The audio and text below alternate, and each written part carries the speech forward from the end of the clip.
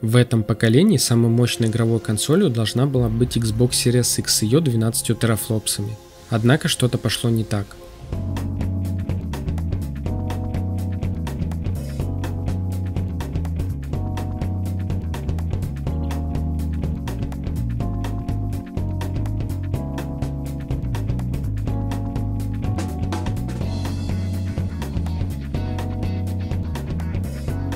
Но ладно, это я забегаю наперед.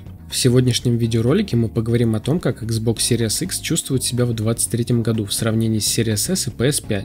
Затронем оптимизацию, поговорим про плюсы и минусы, а также поделюсь своим опытом использования и сделаем в конце выводы. Затрагивать Pass, операционную систему и прочее мы не будем, так как это уже тема для отдельного видео, где речь пойдет о сравнении самого Xbox с PlayStation.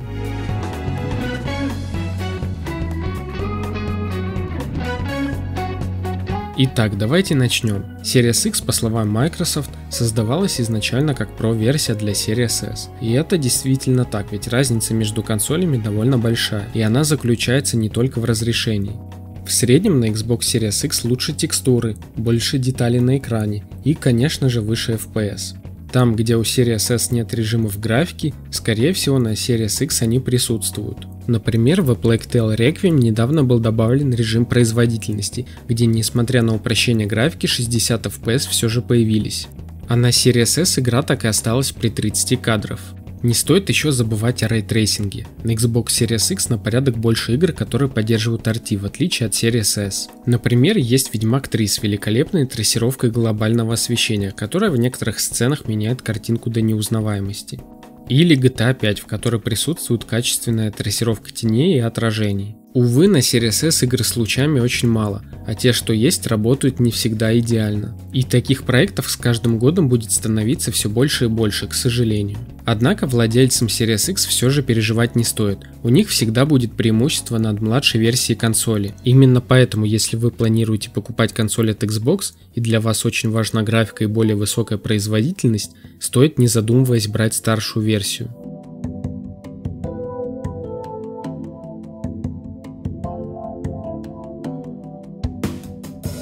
Что же насчет сравнения с PS5 и почему в последнее время Series X начинает в некоторых играх показывать себя хуже, чем более слабая консоль от конкурентов?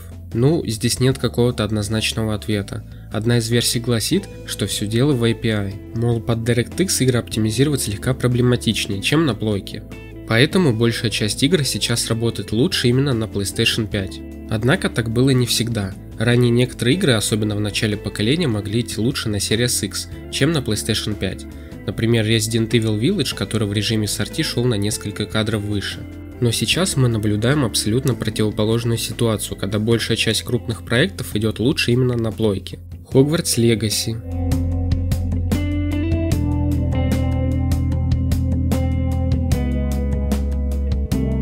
Киберпанк 2077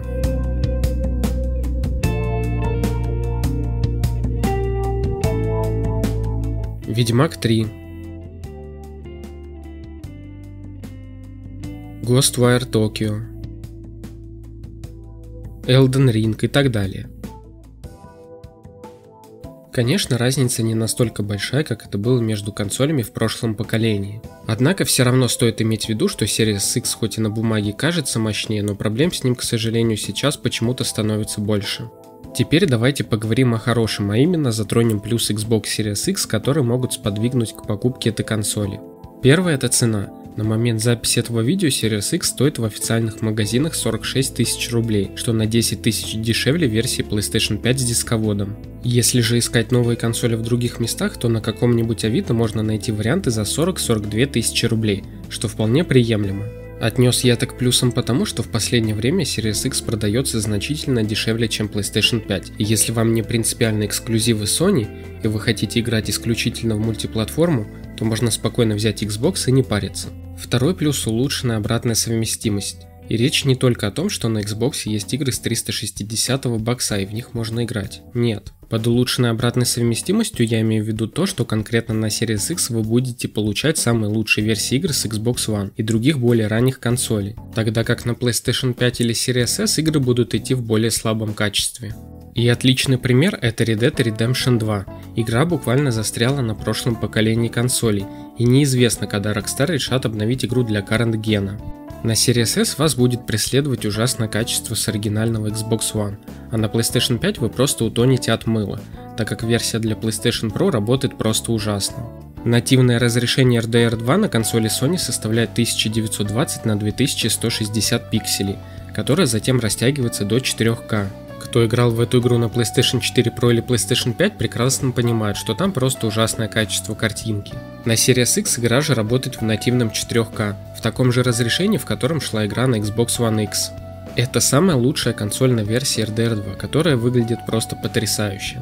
Есть, конечно, исключения. Например, Sekiro на PlayStation 5 работает в шахматном рендеринге 1800p, тогда как на Series X используется нативное разрешение. В связи с этим на PlayStation 5 более стабильная частота кадров, тогда как на Series X фреймрейт может опускаться до 50.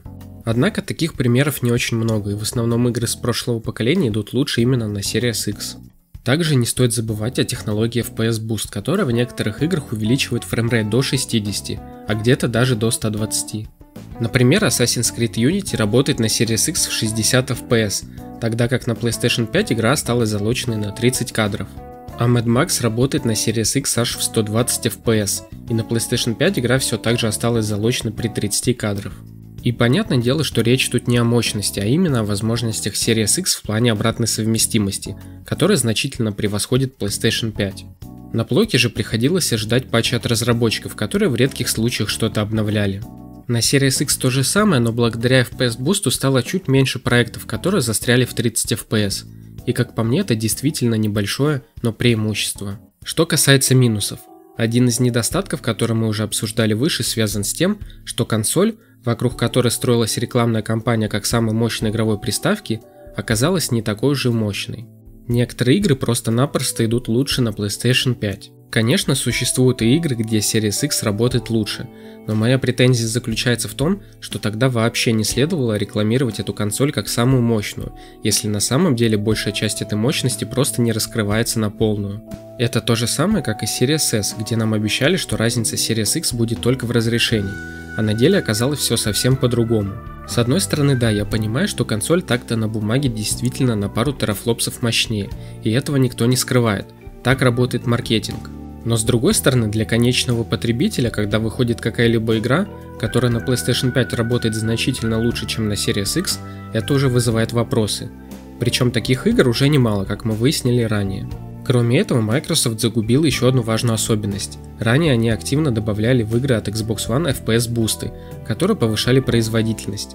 Но, к сожалению, вся эта щедрость довольно быстро закончилась, где-то спустя полгода после старта продаж. И вроде бы все, на мой взгляд, каких-то более серьезных минусов уже не наблюдается. Мое мнение о консоли, несмотря на вышеперечисленные недостатки, весьма положительное. После того, как я купил Series X, то открыл для себя множество классных игр, которые на PlayStation 5 мне были просто недоступны. И кроме различных эксклюзивов вроде Forza Horizon, я также здесь могу играть, например, в GTA 4 или в RDR 1, которых вообще нет на плойке на данный момент. Обратная совместимость это главное преимущество Xbox, отчасти из-за этого я как раз и купил себе эту консоль. Но если говорить об опыте использования самого Series X, то тут тоже никаких проблем нет. Консоль очень тихо и не греется, моментально включается и очень шустро работает. Геймпад от нее тоже сохранился в идеальном состоянии и используется до сих пор, тогда как на PS5 я уже сменил порядка 4 DualSense из-за отвратительного дрифта стиков. Хотя сам геймпад, конечно, все равно мне больше нравится именно на PlayStation, но тут уже вкусовщина. С проблемой входа в аккаунт я также не сталкивался, потому что у меня Ростест консоль. И вам советую приобретать именно Ростест, если вы собрались покупать консоль именно на Авито, а не где-нибудь еще.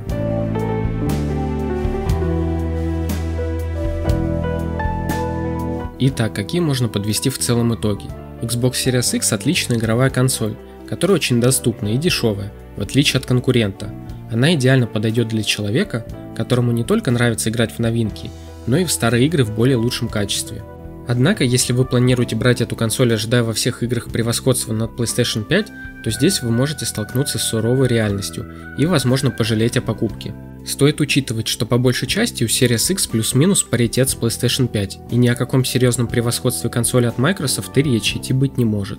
Но если вам на это безразлично, вы просто хотите с комфортом играть в игры, то этой консоли будет более чем достаточно.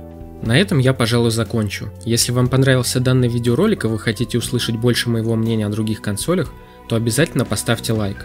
А еще обязательно подпишитесь на канал, если не хотите упустить больше видосов. Всем спасибо за просмотр и пока.